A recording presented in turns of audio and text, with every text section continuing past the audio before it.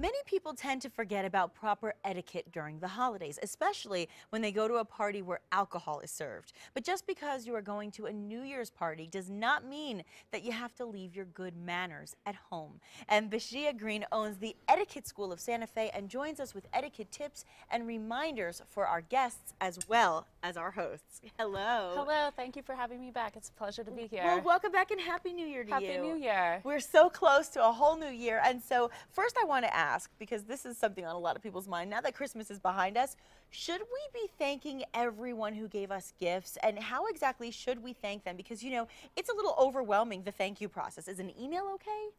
I would recommend putting pen to paper Okay. and making the effort to thank everybody individually who Mm-hmm. spent time and money and effort on getting a gift for you. Okay. Thank you notes are, should be sent typically within seven days. However, over the holidays, I think a grace period is Mm. In order. Thank you. So a couple of weeks would be fine. Okay. It's important to reference the gifts or the experience Good you've point. received. Don't just say thank you for the sweater. Talk about what you like about it. Why is it Oh, meaningful nice. to you? If you received a gift certificate, tell the gift giver what you got or what you're looking forward to purchasing with the gift certificate. Okay. If you received a cash gift, tell them what your goals are for that and how it will be spent. Good idea. So do put thought into it. Make hmm. sure it's at least four sentences long. Well, you know, my birthday is the week before Christmas, so I have to do the birthday and the Christmas thank you. So I'm glad for the grace period because it, it does get a little timely, but you know what? It does mean a lot. That's a good point. And so that's Christmas, but let's move on to New Year's because it's literally around the corner. So if we've been invited to a party, and many of us have, what are the responsibilities of the host?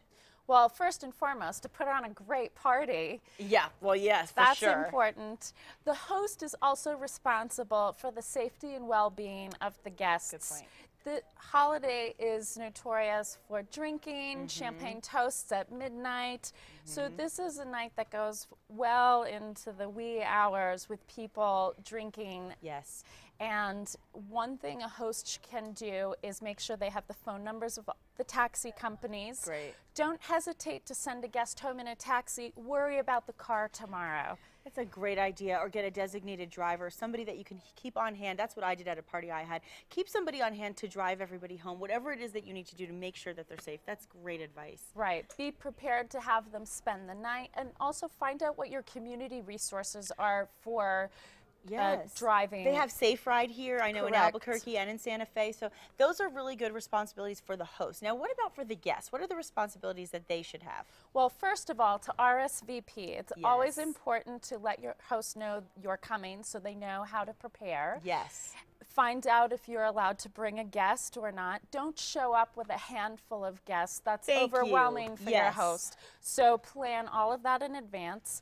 And look sharp, dress up, have fun, contribute to the party and to the atmosphere. I like that, and I'm glad you said that about guests because I think a lot of people have the misconception that, hey, I was invited, so you're invited too. Well, if the host doesn't know these people, then why would they be invited necessarily? Right, So, and it might be an to know. Mm-hmm. intimate gathering. Maybe there's only 10 of you. Bringing a few extra guests would have a significant impact. so, okay, so that could be a no-no. What are some of the other no-nos you would say for a New Year's party? For a New Year's party, no double dipping. ah, that's good. That's good. And because there's so much pressure on New Year's Eve to go to the right party, to dress the right way, to have a great date, there could be a lot of drama involved. Oh, yeah. Keep it at home. Be here now. Just be present. Have a great time. Don't spend the entire evening trying to document the event with your phone, taking photos. Oh, I'm guilty Just of be that. present mm-hmm. and, and enjoy one another's company and reflect on the new year. I'm glad you said that. We really do need to live more in the moment. We're so busy with our social media and our pictures and our cameras and our phones. That's great advice in itself. And so we all know that New Year's Eve is a very popular date night as well. So what if this is a first date or a new relationship? What would you recommend? This is a much fretted over topic. Yes. There's a lot of pressure.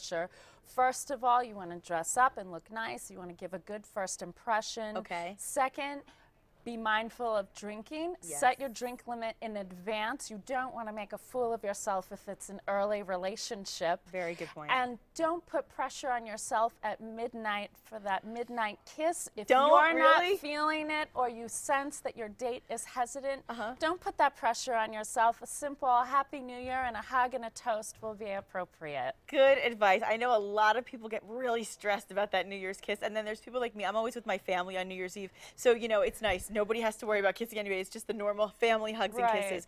But when you're with a, a date, it can be very, very stressful, especially early on. Yeah, Yes. absolutely. Now, of course, we mentioned at the top that you have an etiquette school. So how can our viewers find out more about the school and be able to take classes? Well, I have a website. It's etiquettesantafe.com. Okay. And you can also look it up on Facebook, Etiquette Santa Fe. And I can be reached at, in Santa Fe at 505 988 2070. And on Sundays, I write an etiquette column for the Santa Fe New Mexican called Etiquette Rules. Nice. And you can send your topics my way. The contact information is always included in the column, and I'm always looking for new topics from the public. Oh, that's awesome. Bizia, thank you so much Thank for being you here. so Happy much. New Year Happy to New you. Year to you. Thank you, and we'll be right back.